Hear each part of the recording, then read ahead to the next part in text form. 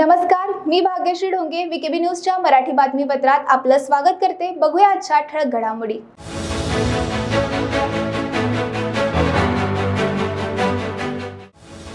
मुख्यमंत्री आणि उपमुख्यमंत्र्यांनी नरेंद्र मोदीची सदिच्छा भेट देवेंद्र फडणवीस यांचा माध्यमांशी संवाद.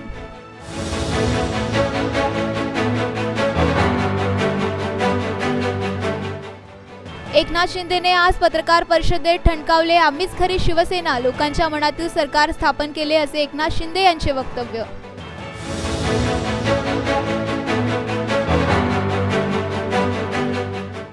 आणि मी मागील सहा दिवसांपासून नागपुरात आहे. मी जेव्हा दिल्लीत नव्हतो तर माझ्या घरी मीटिंग झाली कशी? कृपाल तुमाने यांचं स्पष्टीकरण.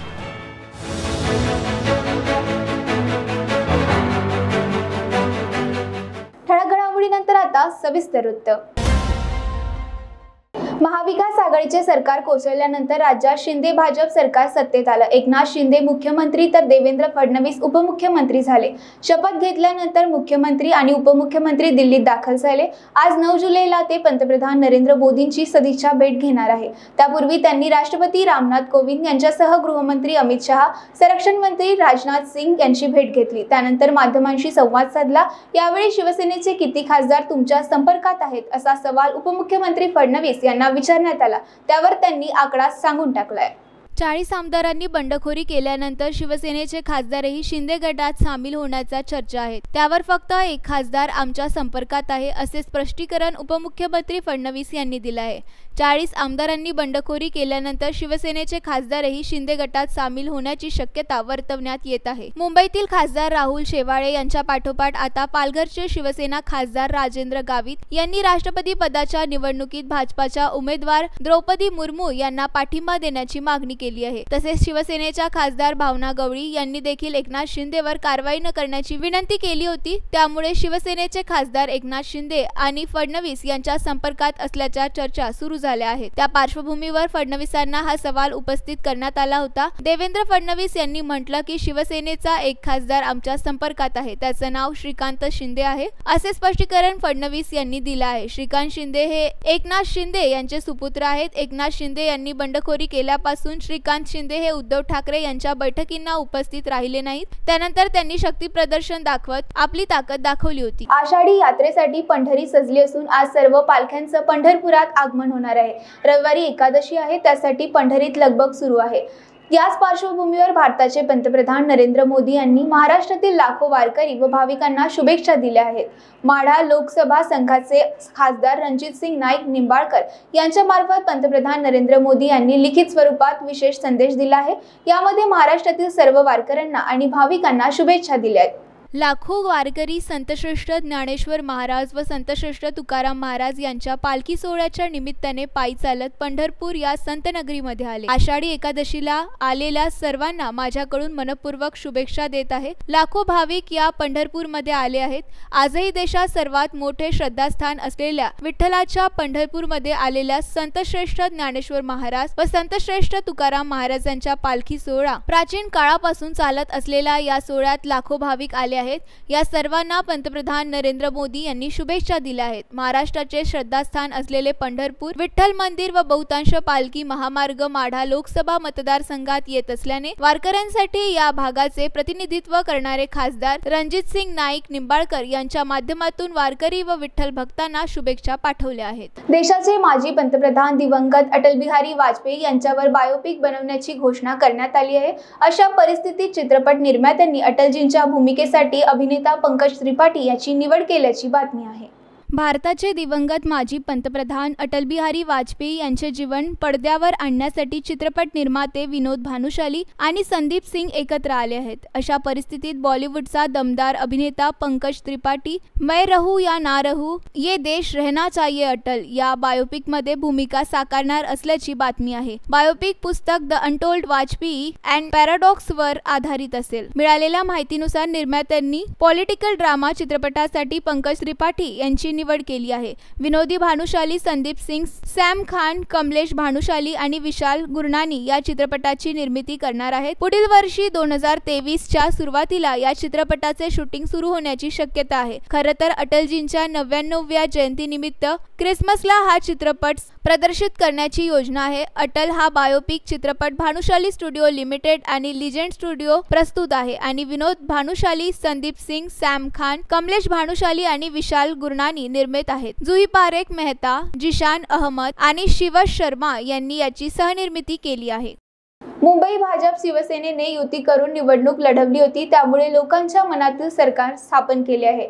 आम्हीच खरी शिवसेना असून लवकरच त्याबाबत न्यायालयाकडून खुलासा होईल असे एकनाथ शिंदे यांनी आज पत्रकार परिषदेत ठणकावले. मेट्रो आणि समृद्धी हे प्रकल्प लवकर पूर्ण करू असेही यावेळी त्यांनी सांगितले. मुख्यमंत्री शिंदे हे आज दिल्लीत पत्रकार परिषदेत बोलत होते. यावेळी उपमुख्यमंत्री देवेंद्र फडणवीस हे देखील त्यांच्यासोबत होते. बाळासाहेब ठाकरे यांच्या विचाराच्या अजेंड्यातून मागील काही दिवसात महाराष्ट्रात या सर्व घडामोडी झाल्या आहेत. दोन हजार एकोणीसमध्ये सार्वत्रिक निवडणुकीमध्ये शिवसेना भाजप युती म्हणून निवडणूक लढवली होती. आम्ही लोकांच्या मनातील सरकार स्थापन केलंय. त्यामुळे वरिष्ठ नेत्यांच्या सदिच्छा भेटीला आम्ही दिल्लीमध्ये आलो आहोत. राज्याच्या विकासात केंद्राचा सिंहाचा वाटा असतो असे मुख्यमंत्री एकनाथ शिंदे म्हणाले. राजस्थानी दिल्लीमध्ये भाजपच्या दिग्गज नेत्यांच्या भेटीगाठी घेतल्यानंतर मुख्यमंत्री एकनाथ शिंदे आणि उपमुख्यमंत्री देवेंद्र फडणवीस यांनी संयुक्त पत्रकार परिषद घेतली. त्यावेळी मुख्यमंत्री एकनाथ शिंदे यांनी चौफेर फटकेबाजी केली. हे सरकार लोकांच्या हिताचं सरकार आहे. शेतकरी कष्टकरी कामगार आणि सर्वच घटनांना न्याय देणारं सरकार आहे. यासाठी केंद्राचे आशीर्वाद असणेही गरजेचं आहे. महाराष्ट्र राज्याच्या विकासामध्ये पंतप्रधान नरेंद्र मोदी यांचं योगदान आणि विजनही समजून घेणारे आहेत. सरकार स्थापन करण्यासाठी बाळासाहेब ठाकरे आनंद दिघे आणि खास करून देशाचे पंतप्रधान नरेंद्र मोदी यांचे आशीर्वाद लाभले आहेत. जे पी नड्डा आणि अमित शहा यांचेही आशीर्वाद सहकार्य लाभले असे एकनाथ शिंदे यांनी सांगितले. यावेळी बोलताना एकनाथ शिंदे यांनी माजी मुख्यमंत्री आणि विद्यमान उपमुख्यमंत्री देवेंद्र फडणवीस यांचेही कौतुक केले. ते म्हणाले की मी खास करून उपमुख्यमंत्री आणि पाच वर्ष यशस्वी मुख्यमंत्री म्हणून काम पाहिलेले देवेंद्र फडणवीस यांचे हे सरकार स्थापन करण्यात मोठं योगदान आहे. आमच्या सरकारचा प्लस पॉइंट देवेंद्र फडणवीस आहेत. मुख्यमंत्री असताना त्यांनी अनेक मोठे प्रकल्प राबवले आहेत. राज्याला चांगले दिवस मिळवून देण्याचा आम्ही प्रयत्न करू. मंत्रिमंडळ विस्तार कधी होणार? अमित शहा यांच्यासोबत याबाबत चर्चा झाली का? या प्रश्नावर बोलताना मुख्यमंत्री एकनाथ शिंदे यांनी प्रतिक्रिया दिली. ते म्हणाले की अमित शहा यांच्यासोबत काल झालेली भेट ही सदिच्छा भेट होती. आषाढी वारीनंतर मी आणि देवेंद्र फडणवीस दोघेही मंत्रिमंडळाबाबत चर्चा करू. अधिवेशनाच्या आधी मंत्रिमंडळ विस्तार होईल असे एकनाथ शिंदे यांनी सांगितले. आमचं बंड नव्हे आमची पक्षातील क्रांती आहे. बंड केलेले आमदार पैशांच्या मागे आलेले नाहीत. पन्नास खोके कसले? मिळायचे का? पैसे घेतल्याच्या आरोपाला एकनाथ शिंदे यांनी प्रत्युत्तर दिले. सभागृहात तोंड दाबून मुख्यांचा मार खात होतो. सभागृहात सावकारांविषयी बोलू शकत नव्हतो असेही मुख्यमंत्री एकनाथ शिंदे म्हणाले. आणि दुपारी आता आदरणीय प्रधानमंत्री महोदयांना देखील आम्ही भेटणार आहोत त्यांचे आशीर्वाद घेणार आहोत. एकंदरीत आपल्याला महाराष्ट्रातल्या घडामोडी सगळ्या माहिती आहे. एका विचारातून एका जो का आमचा अजेंडा बाळासाहेबांच्या भूमिकेतून या सगळ्या घडामोडी झाल्यात आणि जे आम्ही सार्वत्रिक निवडणुकीमध्ये शिवसेना भाजपा युती म्हणून आम्ही अलायन्समध्ये निवडणुका लढवल्या होत्या. आणि पुन्हा आम्ही त्याच प्रकारची सत्ता जी लोकांना हवी होती लोकांच्या मनामधली सत्ता सर्वसामान्य लोकांचं सरकार अशा प्रकारची भूमिका घेऊन आम्ही जे लोकांच्या मनात होतं त्याप्रमाणे सरकार स्थापन केलेलं आहे. आणि त्यामुळे वरिष्ठ नेत्यांच्या सदिच्छा भेटीला आम्ही कालपासून या ठिकाणी आलो आहोत. न्यायालयामध्ये अं, ते विषय प्रलंबित आहेत. त्यामुळे मी त्याच्यावर भाष्य करणं योग्य नाही. आम्ही जे काही केलेलं आहे शेवटी लोकशाहीमध्ये मेजॉरिटी आणि नंबर्सला महत्त्व असतं. या राज्यामध्ये कॉन्स्टिट्यूशन आहे देशामध्ये कॉन्स्टिट्यूशन आहे लॉ आहे रूल्स आहेत. याच्या बाहेर कोणाला जाता येत नाही. त्यामुळे आम्ही कधी कुठेही बाहेर गेलेलो नाही. आम्ही नियमाप्रमाणे काम केलंय. नियमाप्रमाणे सरकार स्थापन केलेलं आहे. आणि आमचं न्यायालयावर न्यायव्यवस्थेवर असं आज कुठेही कुठेही कोणी आम्ही तर म्हटलेलं नाही कुठे चर्चाही नाही. त्यामुळे हे बघा लोकांची दिशाभूल करण्याचा प्रयत्न गेल्या काही कालावधीपासून होतोय. पण मुंबईकर आणि महाराष्ट्राची जनता सुज्ञ आहे त्यांना सगळं कळतंय. कोण कसं वागतंय कोण कसं करतंय आम्ही आमचं काम करत राहू. कोणी काही बोललं तरी आमच्यावर त्याचा परिणाम होणार नाही. वेळ झाली आता एका छोट्याशा विश्रांतीची. भेटूया विश्रांतीनंतर. बाय सब जानना चाहते हैं। मेरा फेवरेट कलर मेरा फेवरेट डेस्टिनेशन मेरी फेवरेट डिश पर कोई ये नहीं पूछता कि फेवरेट डिश मैं बनाती कैसे हूँ। अरे यार, जिसे टेस्टी खाना पसंद है, वो अच्छे टेस्ट तक पहुँच ही जाता है। सुरुचि मसाले। खाने में हो रुचि तो घर लाइए सुरुचि। सपनों की उड़ान भरने की इच्छा तो हर किसी की होती है। पर पंख भी तो मजबूत होने चाहिए। जो देता है Flywheel Aviation Academy Flywheel Aviation Academy एक ऐसा इंस्टीट्यूट है जहाँ पर एयरलाइंस एंड एयरपोर्ट हॉस्पिटैलिटी और टूरिज़्म मैनेजमेंट साथ ही यहाँ campus interview guidance by industry expert practical training at airport expert faculty personal grooming जैसे कई सारे बेनिफिट्स आप पा सकते हैं। Flywheel Aviation Academy one degree three job opportunities Flywheel Aviation Academy gives you a degree और diploma with a job Flywheel Aviation Academy 365 Gandhinagar LAD college square beside Karnataka bank Nagpur.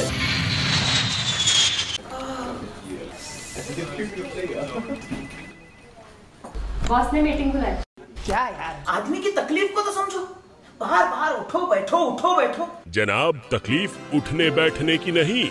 तकलीफ़ बवासीर की है। बवासीर फिशर भगंदर पाइलोनियल साइंस का आयुर्वेद तथा आधुनिक laser से उपचार। Abhyudaya piles laser hospital Lohar Samaj Bhavan के पीछे महापुष्प सोसाइटी शताब्दी नगर चौक से मनीष नगर रोड नागपुर। कॉल और विज़िट करें www.pilesfistulacure.com विश्रांतीनंतर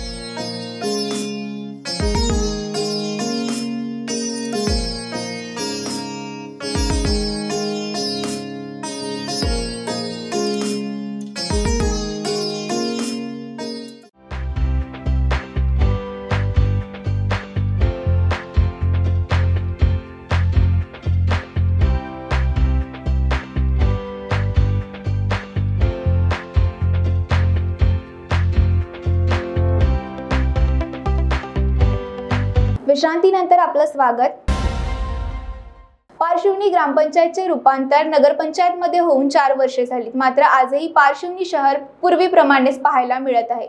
शहरात कुठलेच परिवर्तन झाल्याचे दिसत नाही. पारशिवनी हे अनेक वर्षापासून तालुक्याचे ठिकाण आहे असे असतानाही या शहरात वर्षानुवर्षे अनेक प्रश्न उभे आहेत. शिवनी शहरातील अतिक्रमणाचा प्रश्न सुटता सुटत नाही. अनेक प्रभागांमध्ये सांडपाण्याच्या नाल्या नसल्याने सांडपाणी रस्त्यावरून वाहत असते. त्यामुळे जागोजागी पाण्याचे डबके साचलेले नजरेस पडतात. मुलांना खेळण्यासाठी शहरात कुठेही क्रीडांगण नाही त्यामुळे मुलांनी खेळायचे कुठे आणि कसे असा प्रश्न उपस्थित होतो. सतरा प्रभागात पिण्याच्या पाण्याची सोय करण्यासाठी नगरपंचायतने सहा महिन्या आधीपासून श्रीनील धकाते नामक ठेकेदाराला प्रति महिना तीन लाख प्रमाणे करार करण्यात आला होता करण्यात आला आहे. त्यात प्रतिदिन पंधरा ते वीस हजार लोकसंख्या असलेल्या सतरा प्रभागांमध्ये असलेल्या कुटुंबियांना स्वच्छ पिण्याच्या पाण्याचे वितरण नियोजन देखरेख व इतर बाबीकडे लक्ष पुरविणे. शहरात पाणी पुरवठा पेंच जलाशय फिल्टर प्लॅन व पालोरा पेंच नदीवरील विहिरीमधून करण्यात येतो. शहराच्या आजूबाजूला पाण्याचे भंडार विपुल प्रमाणात आहे. तरी पण पाणी पुरवठा करणाऱ्या ठेकेदारांच्या ढिसाळ नियोजनामुळे शहरातील सतरा ही प्रभागांमध्ये पाणी पुरवठा अनियमित आहे. त्यामुळे शहरातील नागरिक नागरिकांना पाणी पुरवठा चातकाप्रमाणे वाट बघा बघावी लागते. छोट्या खेड्यांचा विकास होत असताना पार्श्वनी शहराच्या विकासाची गती का थांबली आहे असा प्रश्न उपस्थित होत आहे. मानकापूर पोलीस ठाणे हद्दीतील घरपोडी पथकाने चोरीचा गुन्हा उघडकीस आणला असून त्यामध्ये अर्ज चौकशी केली असून गुन्हा दाखल होणार आहे. या गुन्ह्यामध्ये दहा आरोपी निष्पन्न झाले असून त्यातील तीन आरोपींना पोलिसांनी अटक केली आहे. तसेच त्यांच्याकडून एक चारचाकी लोखंडी चॅनल गडर दोन मोबाईल एक ऑक्सिजन सिलेंडर आणि L P G gas cylinder जप्त करण्यात आले आहेत व या प्रकरणी पोलीस पुढील तपास करीत आहेत. मी मागील सहा दिवसांपासून नागपुरात आहे. मी जेव्हा दिल्लीत नव्हतो तर माझ्या घरी मीटिंग कशी होऊ शकते हे कोणीतरी खोटी अफवा पसरवत आहे. आमच्या सर्व खासदार आणि शिवसैनिक यांची इच्छा आहे की ठाकरे आणि शिंदे यांनी एकत्र यावे. नाशिकमध्ये राऊत यांच्या सभेत एकनाथ शिंदे यांच्या नावाने अशब्द बोलले जात आहे. ते कोणी कोणावरही करू नये. मी गेल्या सहा दिवसापासून नागपुरामध्ये आहो. आणि मी नागपुरात असताना माझ्या दिल्लीच्या निवासस्थानी कोणी मिटिंग करू शकत नाही. कारण असं आहे की पंढरपूरच्या यात्रेमध्ये सहा खासदार जवळपास पंढरपूरच्या यात्रेला आहे तीन खासदार मुंबईला आहे पुणेवाले पुण्यात आहे कोल्हापूरवाले कोल्हापूरमध्ये आहे. या काहीतरी कोणीतरी लोक या चुकीच्या अफवा फैलवण्याचं काम करतात. आहे मी त्या मिटिंगच्या संदर्भामध्ये ही खोटी अफवा आहे एवढं जरूर सांगतो. हो कधी आपला संपर्क झाला आहे का शिंदे गटासोबत किंवा त्यांचा फोन वगैरे आपल्याला नाही आम्हाला कोणालाच फोन आलेला नाही. ही सर्व खासदारांचीच नाही सर्व जेवढे काही आमचे शिवसैनिक असेल नगरसेवक असेल आमदार असेल खासदार असेल सर्वांची इच्छा आहे की दोघांनी एकत्र यायला पाहिजे. कारण तुम्ही बघता की साहेबांचा बद्दल सर्वांच्या मनामध्ये आदर आहे. उद्धव साहेबाबद्दल आदर नसलेला असा कोणीही नेता नाही. त्यामुळे प्रत्येकाला असं वाटते की बा ह्या दोघांमध्ये समेट व्हायला पाहिजे. आणि त्या दृष्टीने आमचे काही खासदारसुद्धा प्रयत्न करतात. नाही आता काही धंदा थोडीच आहे काही कमवले ना आता. शेअर बाजार थोडी आहे की खालीवर झाला भाव. नाही बघा जे काही सुरू आहेत सिस्टमॅटिकली त्यांचं सुरू आहे. आणि कोणी असं कोणावर चुकीचे आरोप करत असतील असं मला वाटत नाही आणि करूही नये. सामंजस्याने हा प्रश्न सुटेल असा आम्हाला विश्वास आहे. नाही हे आज नाही झाली मला वाटते. काल की परवा होणार होती नाशिकचे इथं म्हणजे जर असं काही असेल तर दोघांनी आपसामध्ये बसून हा विषय सोडवणे फार गरजेचं आहे. आणि अशा पद्धतीने कोणीही कोणावर चुकीचे आरोप करू नये असं मला वाटतं. नवी मुंबईतील खारघरमध्ये एका कार चालकाने आधी वाहतुकीचे नियम तोडले. नंतर पोलिसांना चकमा देत पळून जाऊ लागला आणि पोलीस कर्मचारी त्याच्या गाडीसमोर येताच त्यांना धक्काधुक्की केली. सुमारे अर्धा किलोमीटर तो असाच गाडीसह धावत राहिला आणि पोलीस कर्मचारी बोनेटला लटकत होता.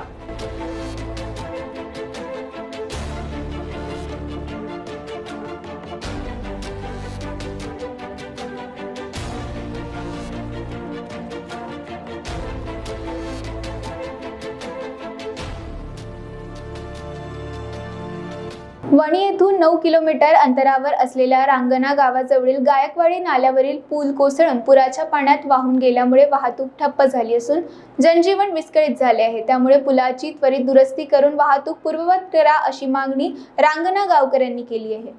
वणी ते रांगणा भुर्की असा मार्ग असून या मार्गावर असलेले गायकवाडी नाल्यावरील पूल अनेक वर्षांपासून नादुरुस्त आहे.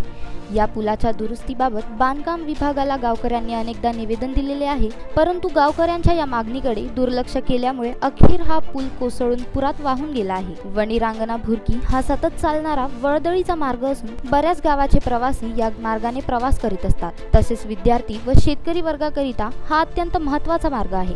सध्या शेती हंगाम सुरू असून शेतकऱ्यांना शेतीच्या मशागतीकरिता याच मार्गाचा वापर करावा लागतो परंतु पूल कोसळल्यामुळे मार्ग पूर्णपणे बंद झाला असून नागरिक शेतकऱ्यांना प्रचंड असा त्रास सहन करावा लागत आहे. तसेच रहदारी बंद झाल्यामुळे शेतकऱ्याच्या पिकाचे फार मोठे नुकसान होण्याची परिस्थिती निर्माण झाली आहे. त्यामुळे पुलाची त्वरित दुरुस्ती करून वाहतूक पूर्वरत करा अशी मागणी रांगणा गावकऱ्यांनी केली आहे. पुलाचे काम त्वरित सुरू न केल्यास गावकऱ्यांमार्फत बांधकाम विभागाला घेरावा करू असा इशारा रांगणा ग्रामपंचायत उपसरपंच ॲडव्होकेट दिलीप परचाके सरपंच सौरंजना प्रकाश बोबडे रविकांत वांढरे धर्मराज जरिले प्रकाश बोबडे महादेव कतकर राजेश वांढरे दौलत दुर्गे रामनाथ जरीले नीलकंठ गोंडे शेखर वांड्रे रमेश भोयर प्रकाश बोडे सुरेश पारशिवे गंगाराम शिवणकर नवरंग तेलंग मारुती तेलंग संजय तांबे गजानन पाऊणकर यासह महिला बचत गटाच्या महिला यांनी दिले आहे. विकेबी न्यूजसाठी यवतमाळ येथून अजित महिंद्रे यांची रिपोर्ट. तर विकेबी न्यूजच्या मराठी बातमीपत्रात आज एवढंच. उद्या पुन्हा भेटूया नवीन घडामोडींसोबत. बघत रहा विकेबी न्यूज. नमस्कार.